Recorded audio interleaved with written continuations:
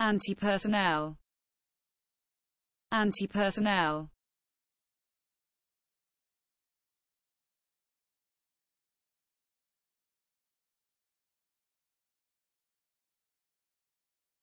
designed to kill soldiers.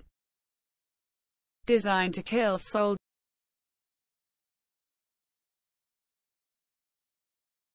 anti-personnel anti-personnel